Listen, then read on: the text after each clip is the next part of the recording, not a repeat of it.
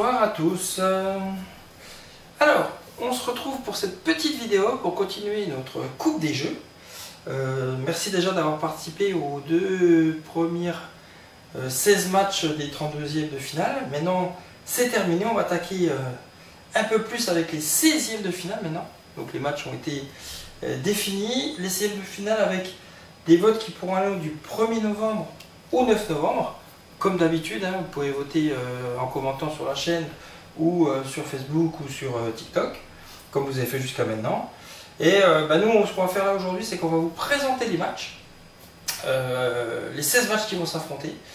Comme ça, vous, aurez un, petit peu en mémoire tous les matchs. Vous verrez aussi sur les posts que bah, je vais remettre les statistiques et les matchs en cours, donc vous pourrez les suivre.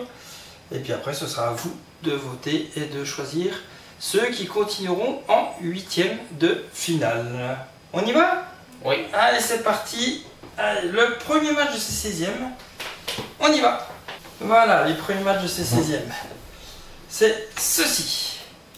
Vous avez Hégémonie qui va affronter le trésor de David Jones. Alors pour rappel, hein, Hégémonie a éliminé Narcopolis. Alors pour se qualifier. Donc, euh, classe, euh, les différentes classes qui s'affrontent. Trésor David Jones a éliminé les maîtres de l'univers pour se retrouver en 16e contre Hégémonie. Et lui, c'est un coopératif où on rentre dans le bateau de David Jones. Coopératif, non coopératif, lutte des classes, tous ensemble pour un trésor. Ce sera à vous de décider et à vous de voter. Allez, on passe directement au deuxième match. Alors, ça, c'est euh, du gros match. Du gros match. Et, très opposé. Hein. Futuriste contre Moyen-Âge. Descente contre le Mandalorian. Alors, comment se sont qualifiés ces deux jeux? The Mandalorian a éliminé Agricola, qui est peut-être pour toi un jeu plutôt phare de gestion, mais les joueurs sont plutôt orientés vers du coopératif dans le monde de Star Wars. Donc voilà, c'est le Mandalorian qui a éliminé Agricola. Descent a éliminé Skyteam, euh, le petit jeu de d'avion. Et voilà, donc Descent est toujours là. Là, c'est deux gros qui s'affrontent. Hein. Qui va en sortir vainqueur? C'est vous qui le direz. Descent ou le Mandalorian? Après, c'est un peu outsider le Mandalorian. Alors, c'est le match. Duel. Le troisième duel, c'est Dune contre Robin des Bois. on a encore là un duel où on a un coopératif contre un non coopératif. Euh, les deux sont tirés de livres, c'est assez surprenant, et les deux ont fait des films aussi. Alors, qui a éliminé et comment, sont arrivés, comment ils sont arrivés ici D'une, il a éliminé l'âge de pierre. Donc, pour se qualifier et être là, Robin des Bois, il a éliminé Mysterium. Donc, les deux ont éliminé quand même des, jeux assez connus. Mais voilà, ils sont maintenant face à vous en 16e. Et ce sera à vous de déterminer le vainqueur. La Famiglia. Si ça rentre. À Robinson Crusoe. Alors, la Famiglia face à Robinson Crusoe.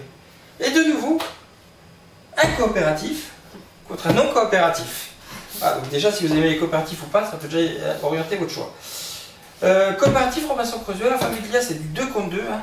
Alors ça, c'est du jeu bien baston comme on aime bien et, bien, hein, où on s'attaque bien. Deux équipes contre deux autres. Robinson a éliminé Tapestry plutôt facilement. Euh, et la Familia a éliminé euh, le Seigneur des Anneaux vers la montagne du destin, également les deux à peu près avec 70% euh, de, vote. de vote positif. Voilà. Robinson Crusoe ou la Familia, ce sera à vous de décider. Ah. Grève, grive. The Crew. Ah, The Crew. Ah. L'équipage. Face aux ruines perdues d'Arak. C'est encore pas du coopératif et du non coopératif. Un coopératif contre un non coopératif, effectivement. Euh, comment ils sont arrivés ici et comment ils se retrouvent face à vous aujourd'hui. Euh, les ruines perdues de Narak ont éliminé Funfair avec un 100% pour les ruines perdues. Funfair a fait zéro vote. Voilà. Donc les ruines perdues euh, plébiscitées pour le match d'avant. Et The Crew a eu un petit peu plus de mal pour éliminer The Touch of Evil, mais c'est qualifié. Donc voilà, coopératif, non coopératif, à nous de décider. Les ruines perdues d'Arak ou crew. le match suivant va opposer Australia à Smile Life. Alors, Australia, donc là, Australia, Il s'est qualifié face à Cowboy Bebop, avec euh, deux tiers des voix par rapport à un tiers pour Cowboy Bebop. Et Smile Life s'est aussi largement qualifié avec plus de 70% des voix contre Gotham Street of Gotham City, qui n'a pas été beaucoup plébiscité. Euh, donc là, on est sur du petit jeu avec un jeu plutôt moyen. Donc ce sera à vous de décider. Est-ce que vous êtes plutôt Martin Wallace et ses, démons de Cthulhu ou est-ce que vous êtes plutôt pour pourrir la vie des autres? Chacun aura son avis. Mais ce sera à vous de voter. Allez Un deux gros. Ouais, Deux Scarface gros. Ouais, et puis deux gros molosses là. qui affronte Terror... Terror. Un Ah oui. jeu d'horreur face à un Oui. jeu de, euh, de, de, enfin, C'est quoi ce de tour Bungie un peu. Ouais, c'est ça. Donc un jeu de, de- de mafia, hein, avec une guerre des gangs et de territoire, face à Terrorscape qui est plutôt un, un joueur contre, contre trois.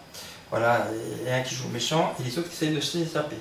Terrorscape a éliminé Escape from New York, lequel on a joué d'ailleurs ce week-end, qui était pas si mal que ça. Mais Terrorscape a triomphé de Escape from New York.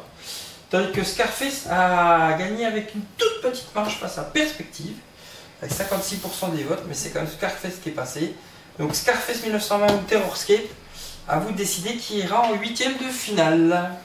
Ah, au vote. Le huitième match c'est du beau jeu aussi. entre Nancy Darking et The Witcher. Euh, c'est les deux derniers qui sont qualifiés, les deux derniers qui sont qualifiés pour les, les 16 premiers matchs qu'on avait tirés. Euh, Nancy Darking a triomphé de Raka Noir avec un peu plus de 60% des votes. Et The Witcher a plutôt bien marché aussi avec plus de 75% des votes contre Western Legend. Donc vous avez plutôt plébiscité le monde fantastique que les cowboys et les indiens et les shérifs plutôt. Mais voilà, donc là maintenant, ben, Nancy Darking se retrouve à The Witcher en 16e de finale et à vous de décider lequel ira plus loin. Ah, au vote. Among Us. Among Us. Us. Among Among- Us. Among Cultiste, ouais, euh, tiré de Among Us. Bon, du coup, ceux qui connaissent Among Us, c'est assez facile. Hein. C'est euh, un ou plusieurs traîtres qui doivent euh, soit tuer, soit. euh, soit Éliminer, alors, euh, les traîtres doivent tuer ceux qui ne sont pas traîtres et les autres Ils euh, doivent trouver qui doivent est- trouver qui est traître. Voilà. Alors, comment ces jeux se sont qualifiés? Euh, Among Cultist a battu Spellbook avec euh, 60% des, des votes. Euh, et The Island a remporté 67% des votes contre Five Tribes, qui pourtant est un jeu euh, alors, très calculatoire, mais qui avait plus à, son époque. Mais voilà, euh, c'est plutôt orienté vers un jeu un peu plus fun. Donc voilà, donc Among Cultist, euh, des traîtres, des non-traîtres, un jeu de rôle caché, The Island. Euh, il faut s'échapper de l'île le plus vite possible, éviter les requins, le feu et surtout les autres adversaires qui essayent de vous dites. pourrir la vie aussi. Voilà, donc Among Cultist au The Island, à vous de décider. Alors, avec un tout petit jeu, 11 Open a Draft, Once, Ah. once upon a draft. face au, face au parrain. Ah ouais, alors là, c'est Ah. les opposés, là. hein. Là, c'est les opposés. Donc, euh, effectivement, Once Upon a Draft face au parrain dans ce dixième match. Alors, comment se sont passées leurs qualifications? Le parrain a remporté avec 60% des votes le match contre euh, Hollywood 1947. Voilà. Et s'est qualifié. Euh, Once Upon a Draft a battu Glenmore 2, tout juste avec 57% des votes. Mais c'est qualifié. Alors là, on est sur deux oppositions de style. Voilà, Est-ce que vous êtes plutôt sur du jeu de cartes rapide, mais assez sympa, puisqu'on l'a testé ce coup-ci et c'est plutôt pas mal Ou est-ce que vous êtes du jeu un peu plus lourd, un peu plus guerrier contre les adversaires, mais avec pas mal de stratégie aussi Le parrain, Once Upon a Draft, à vous de décider. Au euh, 11e duel avec Guy et Guild, un tout tout petit jeu, hein, enfin en taille en tout cas, face à Mark Cable. Maracaibo. Alors, Guild face à Maracaibo. Comment ils sont arrivés ici? Euh, Guild a éliminé Vindication assez facilement, avec 80% des votes. Donc euh, Guild s'est assez facilement qualifié, euh, un jeu assez rapide. Maracaibo euh, a battu aussi plutôt facilement Jekyll and Hyde. Voilà, donc là on est sur euh, deux oppositions de style également. hein, un jeu de, stratégie, de placement d'ouvriers, enfin un Alexander Pfister, un peu calculatoire, avec un jeu un petit peu plus fun qui est Maracaibo et un draft de cartes. Voilà, à vos votes et à vous de décider lequel des deux ira plus loin dans, ce, jeu- dans cette coupe. Et alors là, attention, là, lourd, hein. là, il y a du gros match. On est sur 20 matchs presque 16e. Ouais, c'est le meilleur. Euh, Heroes 3. Heroes 3 contre Dead by Daylight. Alors ils ont euh, des similitudes sur le fait que tous les deux sont tirés de jeux vidéo. Voilà. euh, mais après voilà, ça c'est deux gros jeux qui étaient quand même bien attendus. Dead by Daylight a éliminé euh, Bureau Investigation avec à peu près 60% des votes. Et Heroes 3 est venu à bout de Betrayal of Sophie avec 67% des votes.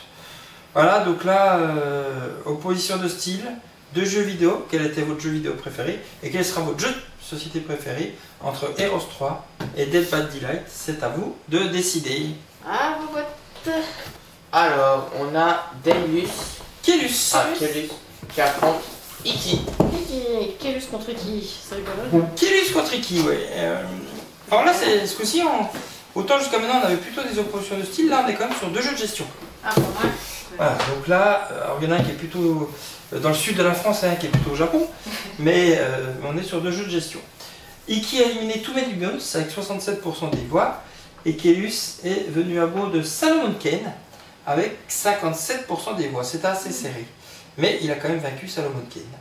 Donc voilà, un jeu un peu plus ancien, un jeu un peu plus récent, mais les deux de la gestion, à vous de décider lequel ira plus loin. Ah, c'est c'est là. Face à c'est du gros, c'est match. ça. continent. Parce que là, on se retrouve avec euh, deux oppositions hein, de style aussi. Quoique, quoique c'est de l'aventure Ah tous les deux. C'est même l'aventure. C'est de l'aventure tous les deux, c'est vrai. Euh, un qui est compétitif, l'autre qui est coopératif. Mais donc septième continent, septième continent euh, qui s'est qualifié en éliminant Tel Safari Bad Night assez facilement, avec 80% des votes.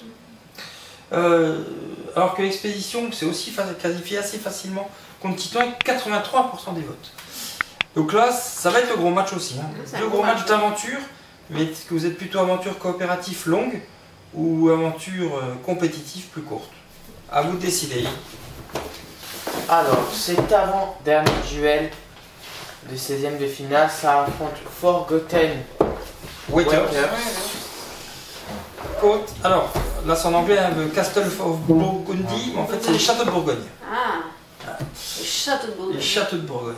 Donc les châteaux de Bourgogne qui se sont qualifiés assez facilement à 83% face à d'autres parcs. de- Dog Park. Euh, château de Bourgogne, bon, bah, c'est quand même un, un inconditionnel du jeu de société. hein. Euh, qui est là, c'est la spéciale édition, c'est la réédition, mais voilà.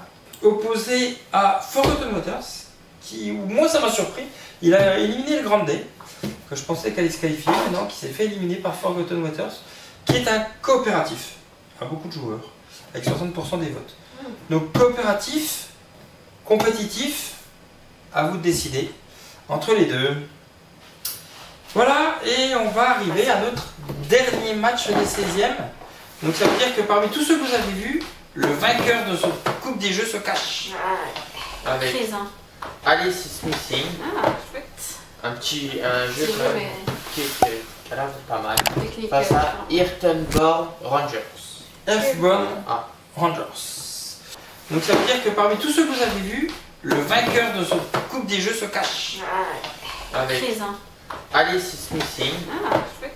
Un petit un jeu quand beau, même mais qui, a l'air de pas mal. technique. Face euh, à Hirtenborg Rangers. F-Bon Ah. Rangers. Alors, le dernier match de ces 16e, comment ils sont arrivés là?